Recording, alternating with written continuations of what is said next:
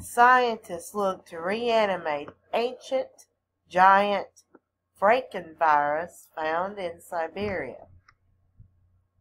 What's a Frankenvirus, you may be asking, because I sure was. It's just one of these ancient viruses that's frozen in the in Siberia in the tundra, and with all the drilling and um, the uh, I don't know if you call it climate change or whatever, but the uh, some of the tundra is thawing, and with the with this, some a lot of the uh, uh, fears of people are that some of these older viruses will be um, released and will be able to spread.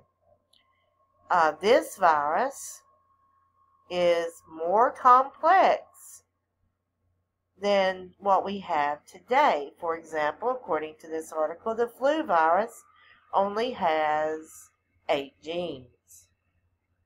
This virus that they're wanting to reanimate has 500 genes. And another virus that they found that was frozen has 2,500 genes. Wow. I thought uh, when something evolved, it got more complex, not the other way around. Kind of makes you wonder about all this evolutionary stuff, doesn't it? Well, anyway, that's my weird news for the day. I will leave the link, and you can go read the whole article yourself. Thank you for watching my video, and uh, God bless.